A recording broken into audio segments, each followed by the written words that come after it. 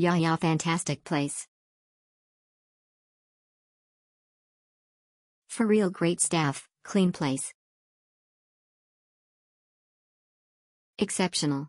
Honestly best hostel I've stayed at. Crazy clean. Front desk was super helpful and kind with my last minute, midnight check-in. Just so comfy and got towels, which I haven't gotten at other hostels. Just love this experience. Thank you. HI New York.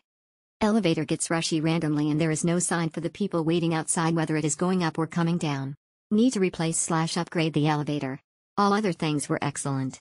I enjoyed all the facilities especially the lawn with tables and umbrellas and the beautiful sounds of birds chirping in the morning were amazing feelings ever. Good location, great facilities. If you are doing a solo traveling or in a group, HI is a great place to stay, the staff, cleanliness, facilities, nearby public transportation, and location, everything is perfect. Hideaway in Manhattan cool place. Cool vibes.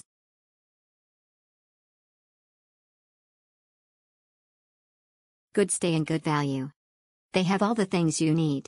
Great place for solo traveler, especially women. One small drawback is that there is only one elevator and it is pretty slow.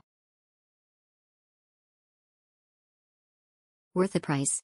Location is quite good worth the price. Location is quite good.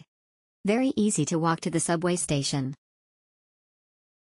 Best hostel in New York One of the best hostel in New York. Highly recommend.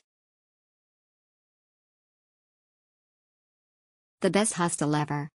This place is a heaven to be honest, very economical with wonderful service. Rooms were clean and quiet.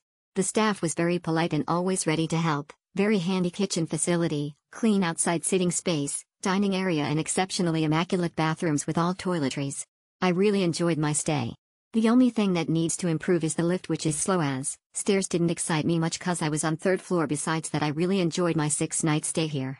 Also the place is very close to train station and is very secure too. Location near Central Park I love to stay here again.